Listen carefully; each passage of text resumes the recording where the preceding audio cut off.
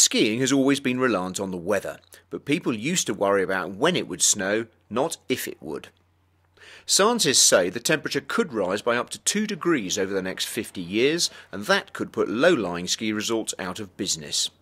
It's causing worry across the Alps. We are concerned because we see that there is a warming concerning the glaciers. In fact, the glaciers are shrinking, and our glacier uh, at the Montfort is really shrinking. So that, that means that certain lifts that we've got on the glacier, we can't use them.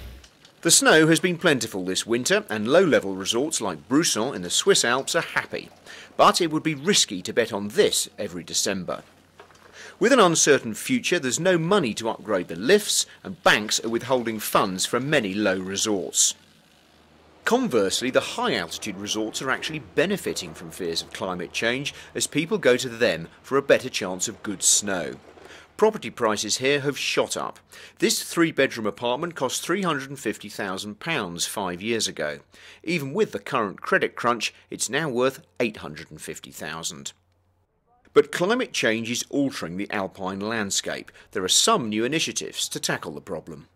Verbier, along with a number of other ski resorts, is running a pioneering scheme to try and protect its glacier. In the summer months, it puts a huge tarpaulin over this whole area here to protect it from the sun. So far, initial tests seem to reveal it's working.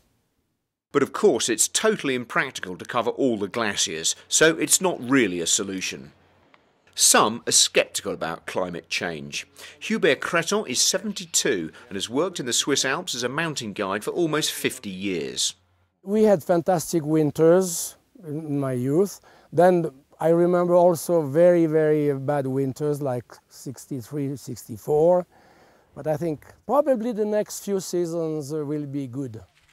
Whether climate change has a big impact or not, people are still looking for other things to do, and resorts are actively promoting new activities. Some are for the adventurous, while others a little less so.